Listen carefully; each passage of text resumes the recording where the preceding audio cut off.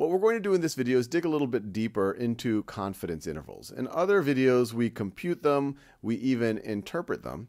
But here we're going to make sure that we are making the right assumptions so that we can have confidence in our confidence intervals, or that we are even calculate them in the right way or in the right contexts.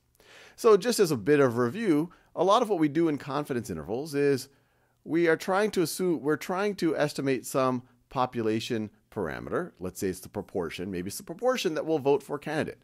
We can't survey everyone, so we take a sample. And from that sample, maybe we calculate a sample proportion. And then using this sample proportion, we calculate a confidence interval on either side of that sample proportion. And what we know is that if we do this many, many, many times, every time we do it, we are very likely to have a different sample proportion. So that'd be sample proportion one, sample proportion two.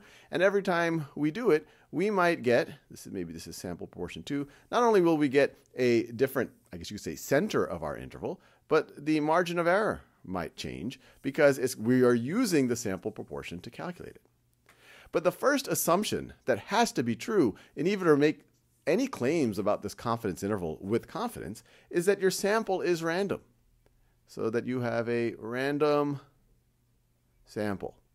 If you're trying to estimate the proportion of people that are going to vote for a certain candidate, but you are only surveying people at a, uh, a senior community, well, that would not be a truly random sample, or if you were only survey people on a college campus. So, like with all things with statistics, you really want to make sure that you're dealing with a random sample and take great care to do that. The second thing that we have to assume, and this is sometimes known as the normal condition, normal condition. Remember, the whole basis behind confidence intervals is we assume that the distribution of the sample proportions, the sampling distribution of the sample proportions, has roughly a normal shape, like that. But in order to make that assumption that it's roughly normal, we have this normal condition. And the rule of thumb here is that you would expect per sample more than 10 successes, successes, and successes and failures each. Each.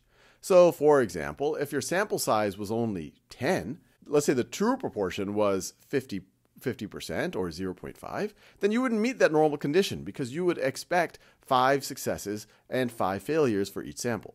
Now, because usually when we're doing confidence intervals, we don't even know the true population parameter, what we would actually just do is look at our sample and just count how many successes and how many failures we have. And if we have less than 10 on, on either one of those, then we are going to have a problem. So you want to expect you want to have at least greater than or equal to 10 successes or failures on each. And you actually don't even have to say expect because you're going to get a sample and you could just count how many successes and failures you have. If you don't see that, then the normal condition is not met, and the statements you make about your confidence interval aren't necessarily going to be as valid.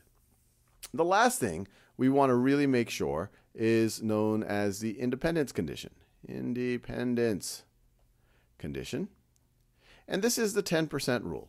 If we are sampling without replacement, and sometimes it's hard to do replacement. If you're surveying people who are exiting a store, for example, you can't ask them to go back into the store, or it might be very awkward to ask them to go back into the store. And so the independent condition is that your sample size, so sample, let me just say n, n is less than 10% of the population size. And so let's say your population were 100,000 people and if you surveyed 1,000 people, well, that was 1% of the population. So you'd feel pretty good that the independence condition is met. And once again, this is valuable when you are sampling without replacement. Now, to appreciate how our confidence intervals don't do what we think they're going to do when any of these things are broken. And I'll focus on these latter two the random sample condition. That's super important, frankly, in all of statistics. So let's first look at a situation where our independence condition breaks down. So right over here, you can see that we are using our little gumball simulation. And in that gumball simulation, we have a true population proportion, but someone doing these samples might not know that. We're trying to construct confidence interval with a 95% confidence level. And what we've set up here is we aren't replacing. So every member of our sample, we're not Uh, looking at it and then putting it back in, we're just going to take a sample of 200. And I've set up the population so that it's a far larger than 10% of the population. And then when I drew a bunch of samples, so this is a situation where I did almost 1,500 samples here of size 200.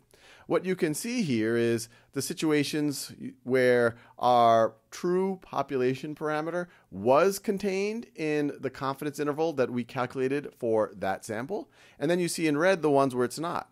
And as you can see, we are only having a hit, so to speak. The overlap between the confidence interval that we're calculating and the true population parameter is happening about 93% of the time. And this is a pretty large number of samples. If this is truly at a 95% confidence level, this should be happening 95% of the time.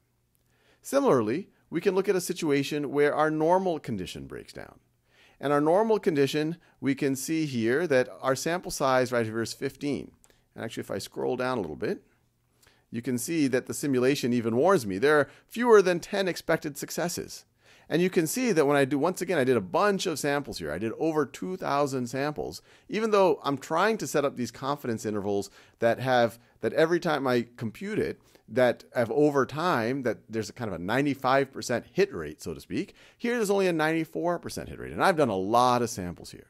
And so the big takeaway not being random will really skew things.